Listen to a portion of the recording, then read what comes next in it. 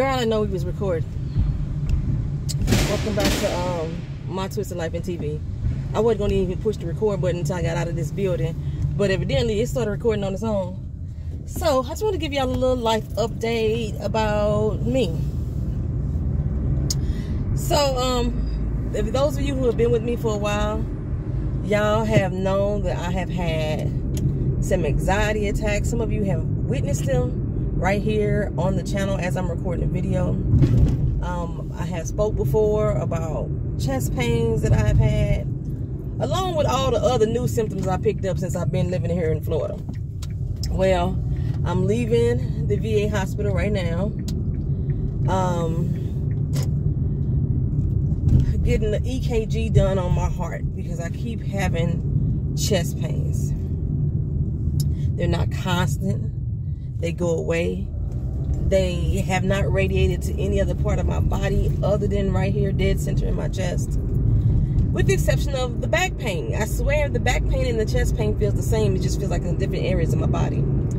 So I feel I feel weird. The camera look weird. I don't know. The camera look weird. Anywho, um, from what I'm gathering and what my acupuncturist believes I may have a form of angina. It's a tightening of the chest muscles, the heart muscles. Usually they say it's not life-threatening. It go away within a matter of minutes. If I practice good breathing, which is normally what I do, I usually breathe through the pain to help it subside. And usually less than two minutes, maybe a minute, less than a minute, it goes away. Um, but if I keep having them frequently, it could damage my heart. So from my EKG, what they told me was that from what it seems like, the right side of my heart is a tad bit inflamed, but it's nothing to worry about. Now, y'all know me. You tell me that something with my heart ain't normal at all. I don't care if it's a tad bit or a whole bit that ain't everything's okay to me. So anywho, they're gonna send my test results over to the cardiologist, and then I'll hear something soon. Um, we're gathering that it's due to stress, but I'm telling y'all, sometimes I could just be in a random ass situation. I could be, I could not be going through anything stressful. I could be just laying in the bed chilling just watching TV. I could just be walking. I could be, you know, on the phone, and all of a sudden it hit me. So it's nothing that I know specific that is triggering me. Um, so I, I would say sometimes yes, it may be stress, but not all the time. And I'm trying to figure out like what the fuck is going on. I done had so many EKGs, so many stress tests, and it all comes back inconclusive every time. I heard there's this thing called a a, a corticoid ultrasound. I'm wondering why that has never been done on me. That's going to be my next step. When I hear back from the cardiologist, I'm going to request it. Um, I've also, you know, had some skin irritations that I've been complaining about before. I talked, y'all heard about me talking about them before too. And usually the doctor would throw some cream at me. You know what I'm saying? Just throw some cream at me. Um, but there has not been any like swabs or anything done to figure out what the fuck is going on. So when I mentioned it yesterday to the doctor the other day, because I talked about the mold that's in the house, and I wanted to get a, a mold screening or a mold panel. She said they didn't have anything specific to mold, but they're gonna give me allergy test. So I just did that too. I just went to the lab and did the allergy test to find out if this mold in the house has been affecting me. And what the nurse was hearing, today based off of my conversation, now the nurse, this first time I ever met her, talked to her, my fifth nurse since I've been at this facility. But I'm talking to her and I'm explaining to her what my landlord is telling us to do as far as like putting bleach down. And she's saying that maybe it's the bleach that's causing the skin irritation. Never thought of that. However, I still think it's the mold. um, but so yeah, we tested for that too. And y'all know I'm still having some pain in my foot for when I broke it back in at Christmas time. I went back to work before my foot was fully healed. I already know this for a fact. Just from the x-rays I took in February, then I went back to work because I couldn't afford not to be off work any more longer than I had been. I had already been off three months with no, with no pay. and I was dipping into my savings. And I didn't want to be back into the same position I was in when I first moved to Orlando. And I blew through my savings within those first few months of us living here because I wasn't getting paid. I didn't want to put myself back in that position, so I went back to work because I was walking around on it. Um, but because it's still causing me discomfort, I still have a slight limp when I walk. I want to get back into running, jogging at least to get this fucking weight off me, y'all. Um, but I can't, I don't want to do that knowing that my foot is still fractured. So I'm like, have to go some other routes maybe. I hate, I, I have a home gym, treadmill. I have an ab machine. My mama has a, a, a, rower, so I can use her rower. We have a bike, and then it's another type of machine. I don't know what the fuck that is. To, oh, that's my mom's bike. It's a little different than my bike. My bike is one that you use your arms and legs to propel the motion. Her bike is more electrical or mechanical. No, mine is all body motion. Okay. Um. So we have I have some other options that I could do besides jogging on my foot. However, I like to be outside.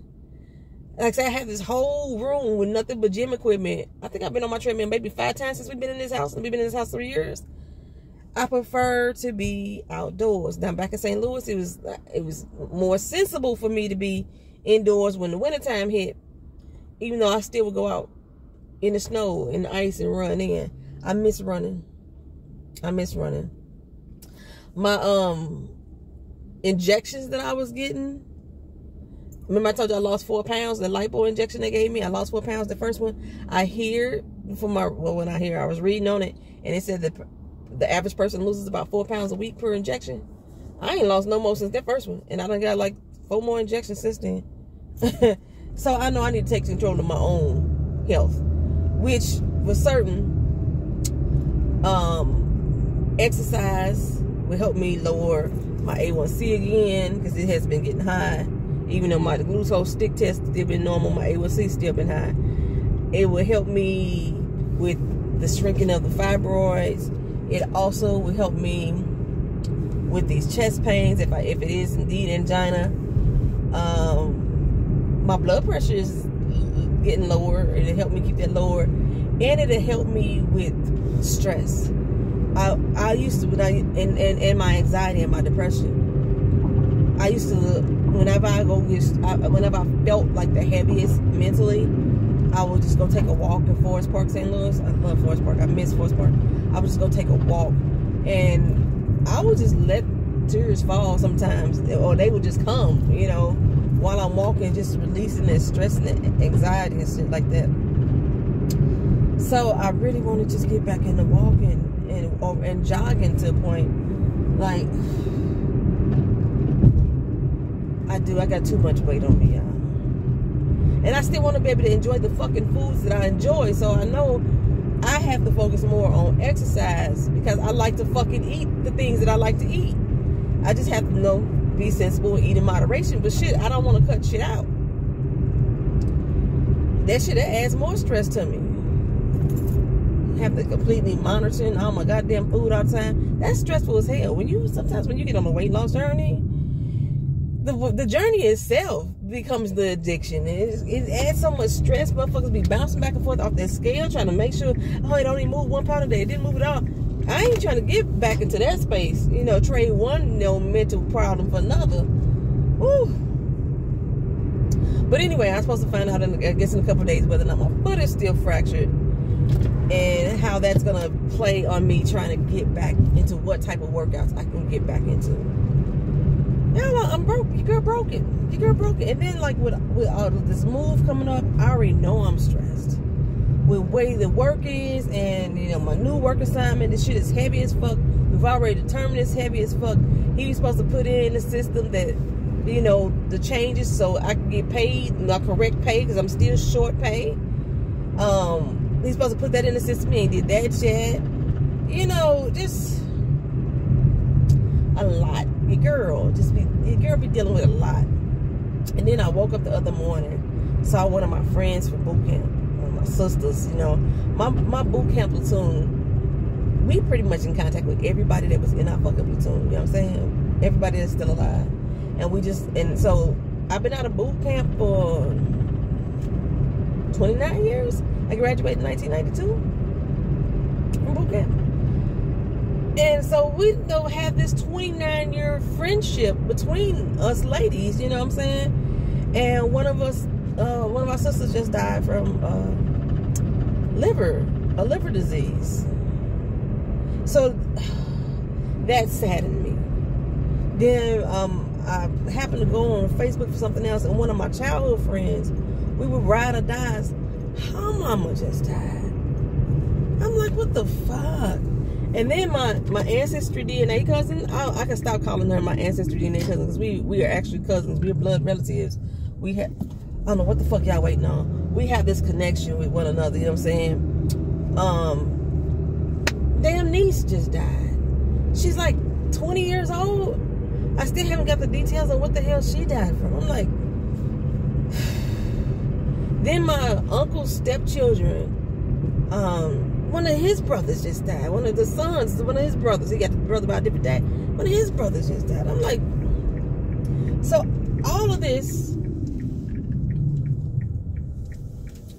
all of this makes me just think more and more and more about my health and what the fuck I'm not doing. Things that I know I should be doing that I'm not doing in regards to my health.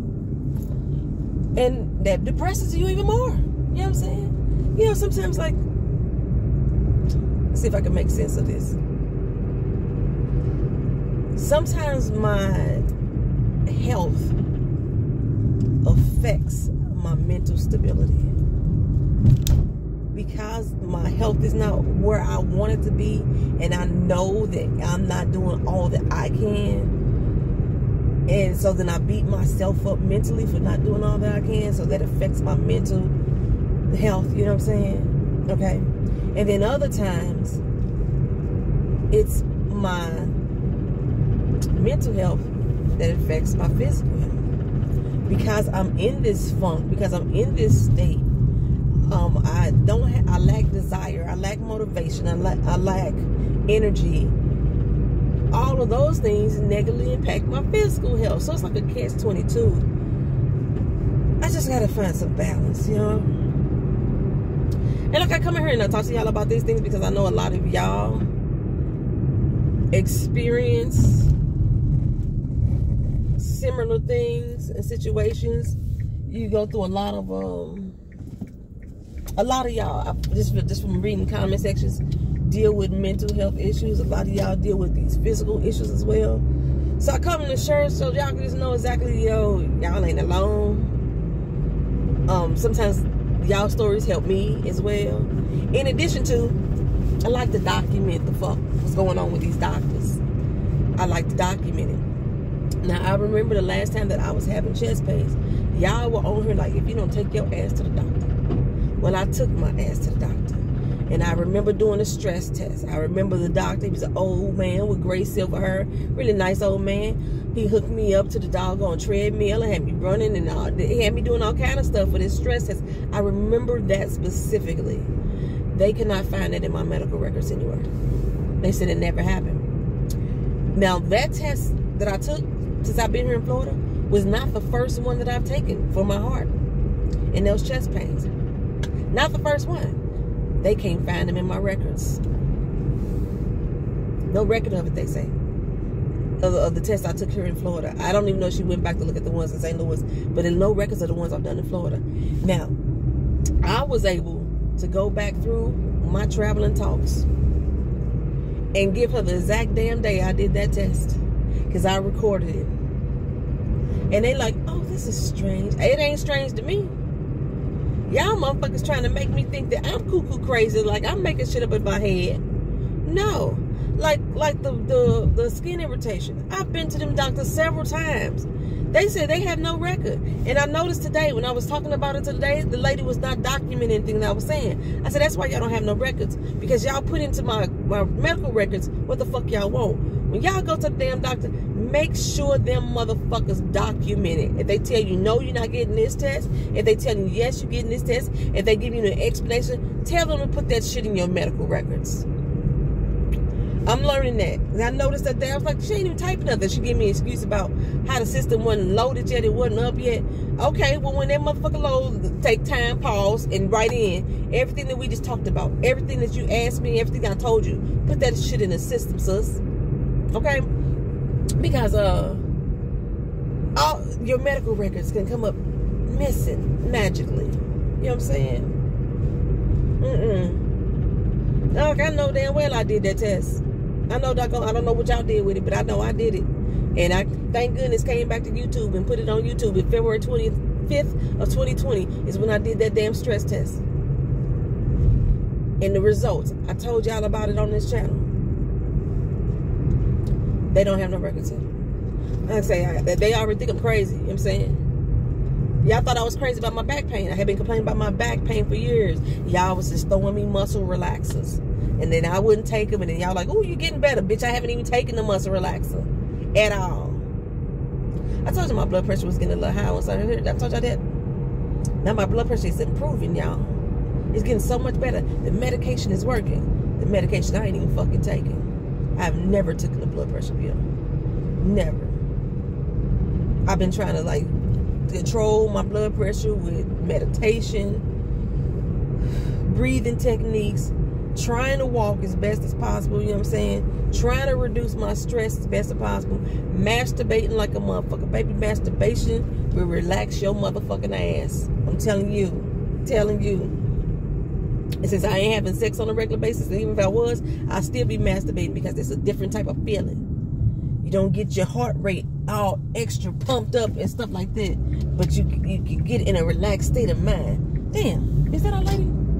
I was finna, I'm driving over to the post office right now to drop off a package I was supposed to mail for Keaton yesterday, but I just saw the mail lady right there. Could have just gave it to her. Anywho, I'll take it over there now. But still, yeah, finding different ways to reduce my stress to help me reduce my my my blood pressure levels because they be high sometimes.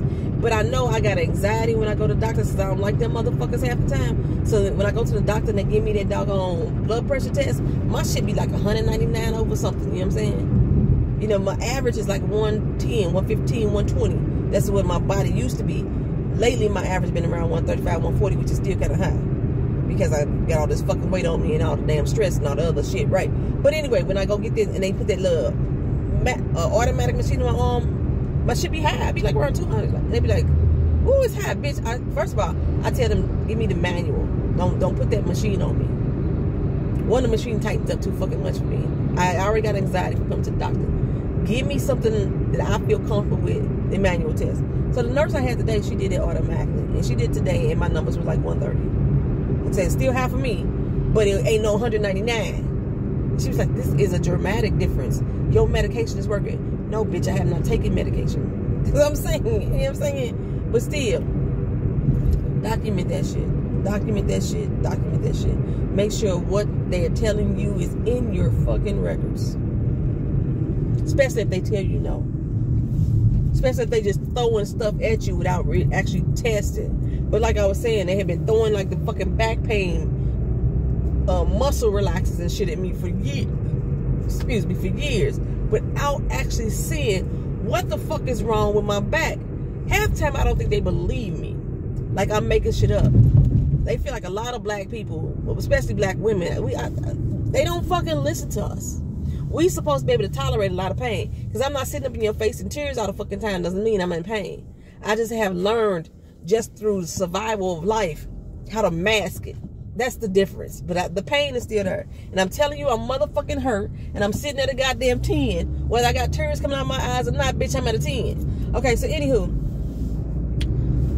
After all these years of them throwing out muscle relaxers and shit at me and ibuprofen and things like that at me, they finally did ultrasound on my goddamn back and, you know, x-rays and shit to find out I got the damn bulging disc along my spine and the degenerative disc disease.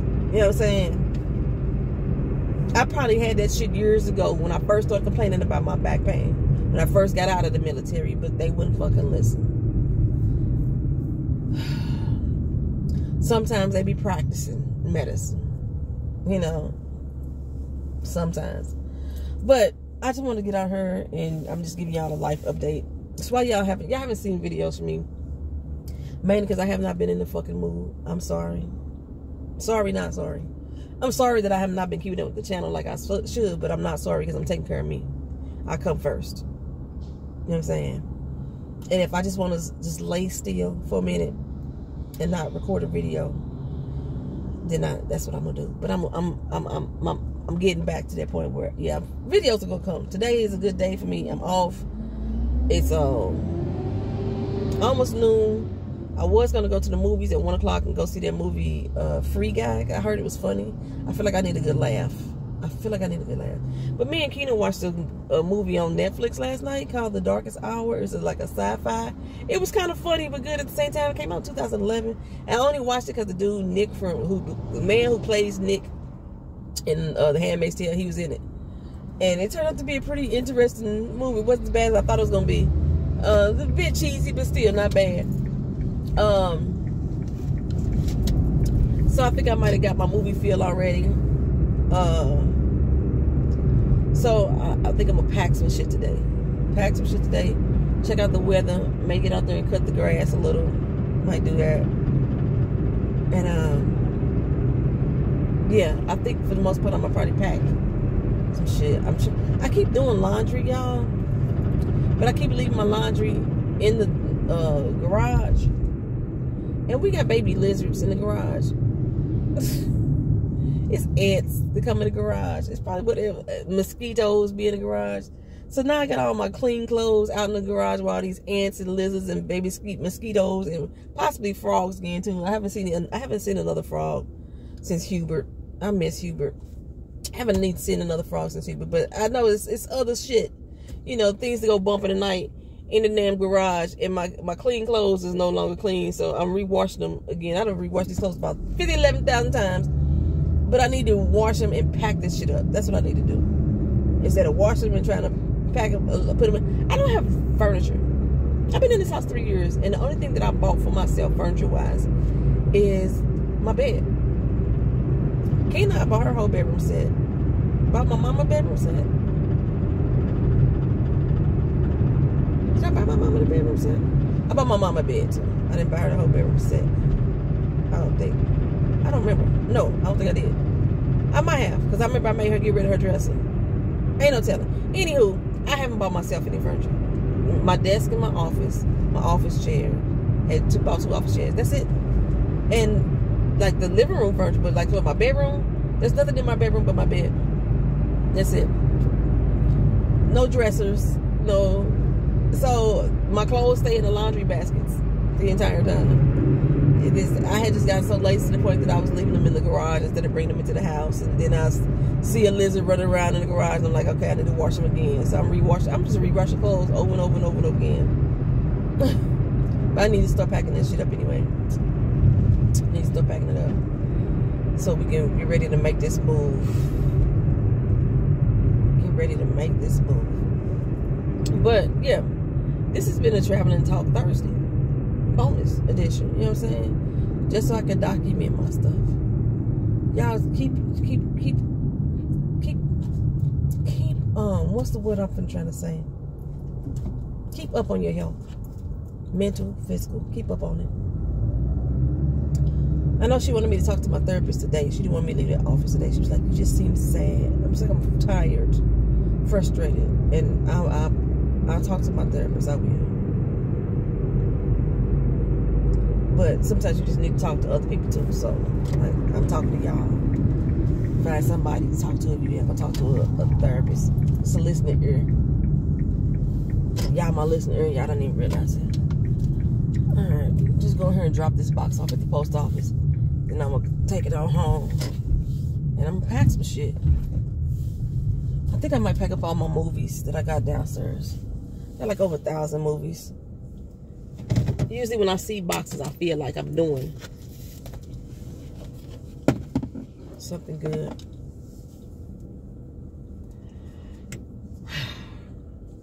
No judging. No judging. I love my kitty cat face. Talk to y'all later. All right, peace.